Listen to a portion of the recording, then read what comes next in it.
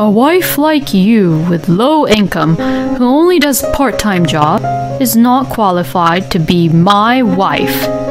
But your sister Julia, on the other hand, is amazing and radiant, unlike you. After all, she also earns $5,000 a month. She's also really beautiful, has a great body, and is gorgeous. There is a world of difference between you and your sister, since you're a woman with no charm at all. So, because of these reasons, it's not my fault that I cheated on you, Natalie. And it's all your fault that I'm acting this way. And that is the reason why I'm marrying your sister, okay? So, go ahead and sign the divorce papers. Fine, I don't really care. But once we're done, and there comes a time where you regret about this whole thing, it'll be too late by then. Okay? Huh? Oh, don't you worry. I won't regret it at all. I think that I had a normal and ordinary but happy married life with my husband, Dylan. But then, I guess it can all fall apart so easily like this, huh? I looked at my husband as he left the room while mocking me and thought to myself, oh, how pathetic. But I wasn't thinking about how pathetic I was. It was about how pathetic my husband was. Because my husband would be the one who would lose everything from now on. My name is Natalie. I am married to my husband, Dylan, whom I met through a friend and we are living an ordinary life together as a couple. Although we were still young and got married to each other, we didn't have any kids, and we were able to devote ourselves to each other's hobbies, friends, and other things that we liked. I like to do crafts and making little dolls. And Dylan, on the other hand, loves going out for drinks with his friends. So, supposedly, he and his friends get together once a month to catch up with each other. One day, when Dylan came home from drinking with his friends, he looked a little dissatisfied, which was pretty unusual. While preparing water to sober him up, I called out to Dylan. Oh, welcome home, honey. What's wrong? Why are you frowning, honey? Oh, well, I heard that a friend of mine is moving into a new place. And you know that big tower apartment in the neighborhood, which finished construction recently? Well, he's moving into that apartment. Oh, wow! That's amazing. We can't imagine what that kind of world is like, living in a place like that for us. But it must be really nice. Just like Dylan has said, the construction of the magnificent tower apartment that had been under construction in our neighborhood for several years had finally been completed. I was looking at the construction site wondering what kind of rich people would be living there, but I was surprised that anyone close to us would be living there. Yeah, it's really hard to imagine, isn't it? Saying this, Dylan took the glass of water I gave him and chugged it in one go. My friend's wife is supposedly self employed and makes a lot of money, which is why they're rich. But compared to that, I'm the only one making any money, so it is definitely not possible for us. Oh, honey, please don't say it like that. I work at the part time job too. But that's no different from a part time job that even students are doing. I'm sorry, but it doesn't count as a proper work. As my husband let out a huge sigh, he said that and pushed the empty glass towards me. But compared to that, Natalie, your sister Julia is amazing, isn't she? When we had dinner with Julia the other night, she was wearing really expensive branded clothes and she's such a beauty, attracting everyone around her. And plus, she also told me that her monthly income is $5,000. Isn't that about 10 times more than what you earn with your petty job? Dylan said this with a laugh and disappeared into the bedroom as he walks dizzily since he was also drunk from the alcohol. I let out a small sigh as I watched him disappear. Dylan looks down on me on a regular basis, and I really, really hate it when he does that. Dylan works for a somewhat small local business, and from what I hear from Dylan, it's a very tough place to work because the pay doesn't increase that much. I understand that, but that doesn't mean that he should look down on me. And recently, Dylan has been praising about what my sister wears frequently. My elder sister, Julia, who is three years older than me, also lives nearby where we live. She's also the type of person who likes to go out for drinks, so I knew that she and Dylan often went out for drinks together. Julia has always been popular since we were young. Julia, who is always stylish and beautiful, is pampered and spoiled by everyone around her, and has a personality so different from mine that it is hard to believe that we are even sisters. Being with such a cheerful person like Julia, Dylan and her must get along really well. The two of them would frequently go out to pubs and bars to drink together. I never thought that Julia and I would be compared as sisters even after I got married to Dylan. And to think that my own husband was the one doing it. Today, too, I felt really uneasy about what Dylan has said while I went to sleep. The next day, Dylan, who had the day off, suddenly says something while we were eating breakfast together. Hey, Natalie, why don't we move? To that big tower apartment. You're talking about that big tower apartment again? That's an option only for the rich people, you know that, right? As my personal opinion, I think that for us, a small house is just perfect for each other. Plus, I don't think that we'd really feel at home if it's too big like that tower apartment. Well, that may be true, but if we think about getting old, isn't it not a bad idea to live in a place with good security and moving into a place which is just really clean and nice? But if we move into a tower apartment now, we won't be able to live the life that we're living right now before we get old. You know that, right? But hearing this, Dylan was still mumbling and complaining, as if he was still not convinced with what I was saying about the truth. I guess he must be very jealous of his friend's success. Dylan has a habit of showing off about who he is and what he has to others and he wants to be envied by other people for having what he has.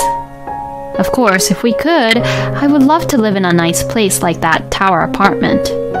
But even if Dylan and I doubled our income, we would still never be able to afford such a luxurious place. Well, I knew it, that it would be difficult, because I have a wife who doesn't earn enough. He says this and looks down on me as he ignores the fact that he himself earns low income. So, as usual, I ignore what Dylan says and drink my soup. Alright, yeah. I guess I'll have to work a little harder too. Dylan muttered this to himself, his expression brightening a bit as he ate his breakfast. He must have thought of something or an idea but it's not like you can move into that tower apartment right away. I thought so to myself and did not really ask him what he was thinking, but I was later confronted with a shocking fact. It must have been about a month after we had that breakfast together. On that day, Dylan did not let me know about his drinking session with his friends, which was unusual of him, and he came back home in the morning. Hearing a taxi stop near our place, I rushed to the front door.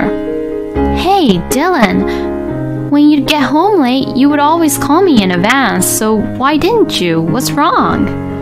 You had me really worried. When I opened the front door as I said that, I saw not only Dylan, but Julia with him.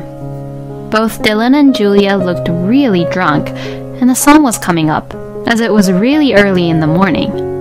They must have been drinking together, judging from the way that smell of alcohol drifted through the air just by facing both Julia and Dylan. But no matter how much they both liked to drink, this was the first time they had ever continued drinking until morning. While I was being stunned at the situation, both Dylan and Julia pushed me out of the way and stormed into the house. Natalie, I need to talk to you. Come over here. I did as I was told, and I sat around the table as the two sat down before me. Both Dylan and Julia was too drunk that I thought it'd be just a huge hassle to go against them. Okay, I'm going to just be straightforward with you. I am divorcing you. What? Is that a joke? I asked with a laugh, but then Julia opened her mouth as she laughed at me contemptuously. Oh, I'm sorry, Natalie. Actually, it's something I've been thinking about for a while now. It seems like you and Dylan seem to live in completely different worlds. Dylan is much more suited to a woman like me Julia said this as she hugged Dylan's arm right in front of me. To this, Dylan looked really happy. I just couldn't believe what I was seeing from early in the morning. I let out a huge sigh as I was feeling ridiculous about what was happening in front of my eyes. What is the meaning of all this, Dylan? What do you mean by what is the meaning of this? All you've been doing is you've only been making pocket money and acting all high and mighty while calling that your job is proper work when it isn't since it's only just a part-time job. And I just couldn't take it anymore. Oh, I heard everything from Dylan, Natalie. When Dylan said he wanted to live in the tower apartment, you told him that it was impossible. You can't trust what your husband is worthy for, which shows that you're not a fit wife for him. The two of them were laughing happily as they said such things to me in a really drunk manner. Unlike you, your sister had respected what I suggested. She said to me that I'll be a man who looks good and suits very well in that tower apartment. Like that, she agrees with what I say, and she is a nice woman compared to you. Was just saying what the reality is, you know? Both you and Julia are just too drunk to make any good decisions. Just praising or complimenting each other that easily won't make any difference, will it? You have always had a poor mindset, and you are always so frugal, so it's no wonder that people around you will be poor too. Do you even know how much Dylan really earns? Julia says that as she glares at me. He earns about $7,000 per month. I couldn't help but laugh at what she said. How could I not know about Dylan's salary? He doesn't even make that much kind of money at all. When I looked at Dylan, he awkwardly turned his eyes away from me. I guess he must have lied to Julia as they were getting excited while they were talking to each other and getting drunk together. So, his usual habit of trying to look good to other people had kicked in, huh? anyway, Julia earns a lot more money than you, Natalie, and she also agrees with me and stands up for me. It's no doubt that she's a much better wife than you, Natalie, so that's why I'm divorcing you. Dylan then brought the divorce papers from his room. I don't know how long he had been preparing the divorce papers, but the only thing which was blank was where I had to sign. Hey, why don't you reconsider this whole thing one more time? It's not something you can decide on the spur of the moment just because you're drunk. And Dylan, you're not being logical about any of this. And Julia, do you really think that father and mother would forgive you for taking away my husband? I couldn't care less about what father and mother would think about this. Because a wonderful man like Dylan wants me for who I am. So I don't need anything else. Hearing this, Dylan was also nodding right next to me. If anyone heard what they were both saying, it was clearly obvious that Dylan and Julia was both only after the money. Knowing that Dylan and Julia was in this situation, there would be no point in trying to persuade them any longer, no matter how much I tried. Besides, there was no way I would be able to persuade them when I've seen how they were like to each other. Dylan had always looked down on me, whether it was about earning money or just anything else in general, and having him requesting for divorce, I was actually beginning to feel a little better about the situation. Fine, we'll get a divorce, but it's too late to regret anything, okay? I signed the divorce papers as I said that, and the two of them rushed me to submit the papers to the city office immediately. They called a taxi for me and made me submit the divorce papers right away. After witnessing that I had submitted the divorce papers, both Julia and Dylan then officially got married a few weeks after that. The two were so well prepared for this. I also left the house, leaving Dylan and Julia, who seemed to be enjoying themselves in front of my eyes. And right after I left, they went to buy a room in that tower apartment on the same day. The total amount to buy a room in that tower apartment was about $2 million. When I first heard the amount, my mind went blank, and I really couldn't process that amount in my head. Julia and I would move out next week, so I'll give this house back to you. Looking back on it now, it's such a small, shabby house. Dylan described mercilessly about the house like that, even though it was where we had lived together since we got married.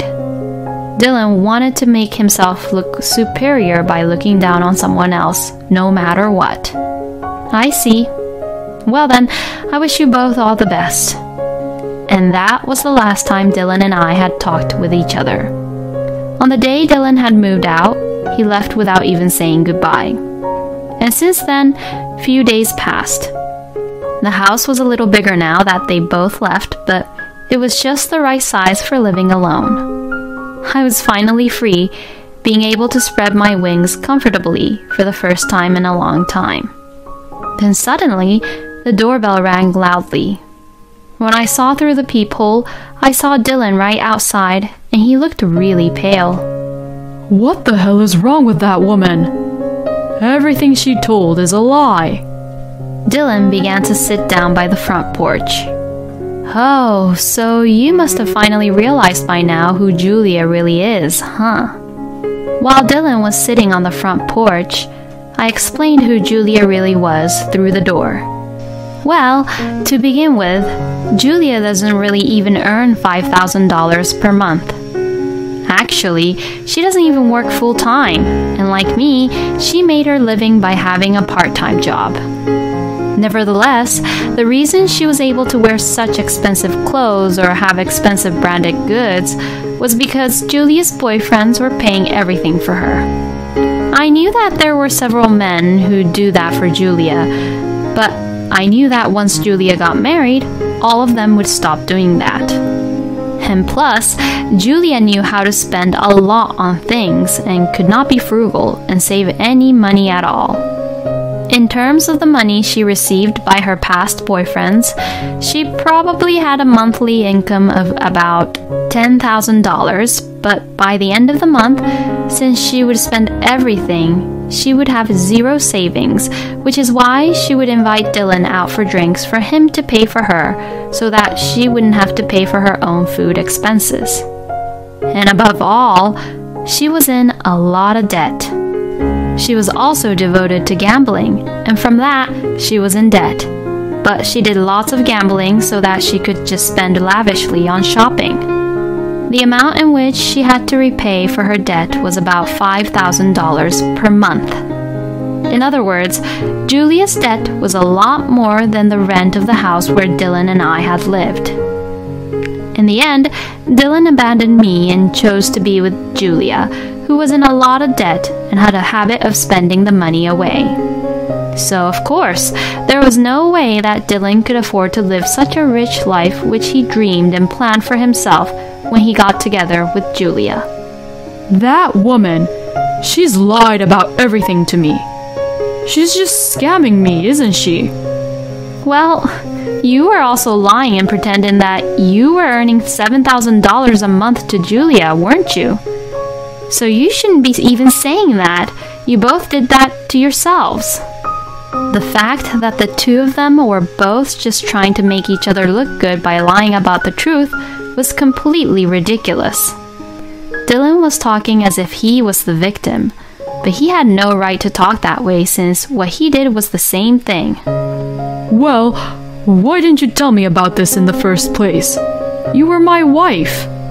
Well, I'm not nice enough to give you any advice after you looked down on me like that. Because, like what you and Julia said to me, it seems like I'm not really qualified to be a wife, right? After Dylan had heard what I had to say, he understood everything and began crying miserably at the door.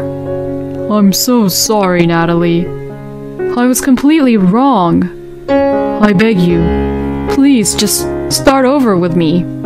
If I continue to stay with that woman, I'll be ruined too. It's too late to regret it now. I will never, ever get back together with you. So, can you please leave now? If you make any scene here, all the neighbors will see what you're doing and it'll be a rumor in no time, okay? Since you want other people to know that you're a good person, that's the last thing you want to be seen as, right? Dylan seemed to have been at the door for a while, but before I knew it, he left the house. He hates more than anything to be seen crying by the people he knows or he has met before. I felt just a little sorry for him, thinking that he would be a lot more miserable in the future.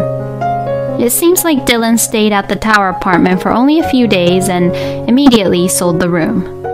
But since a large amount of debt remains for the tower apartment, he will have to pay it off bit by bit from now on. Julia and Dylan currently rented a new room and is living in it, but it is a small apartment for two people to live in and they seem to be constantly fighting every day. Everything is coming all to Dylan with the fact that his divorce from me was due to his affair, and that he also had to pay alimony to me because of what he has done. The remaining debt for the tower apartment, and the rent, and the alimony. Naturally, it is not something Dylan, who really has a low monthly salary, can afford to pay, which is why he also began doing part time jobs and other different jobs on the side so that he could pay off what he had to pay. As for Julia, who is living with Dylan, she must have seen how frugal they both have to be, but it seems like she bought tons of clothes at a local clothing store the other day. It seems that her spending habits are still very much alive and probably very difficult to get rid of it. By seeing Julia being like that, it is hard to imagine when she will be able to pay off her debts. It looks like Julia tried to run away to our parents' house few times, but father disowned her because I had already reported this outrageous incident to him. Even I can no longer see Julia as my own elder sister. Compared to Dylan and Julia, my life has become a little easier, all thanks to Dylan's alimony. Plus, the manager of my part time job asked me if I wanted to become a full time employee. My manager said that they had just lost one of their full time employee and wondered if I would be interested. I agreed to the offer right away. Thanks to this, I was able to earn enough money to live a comfortable life, even though I lived alone. So, like this, in the end, I probably now earn more money than Dylan. Well, I guess I'll just treat myself to a nice little dinner tonight. Thinking that, I would return to my favorite house while looking at the big tower apartment which is standing in the distance. Thank you for watching until the end. Please subscribe to our channel. We hope to see you in our next video.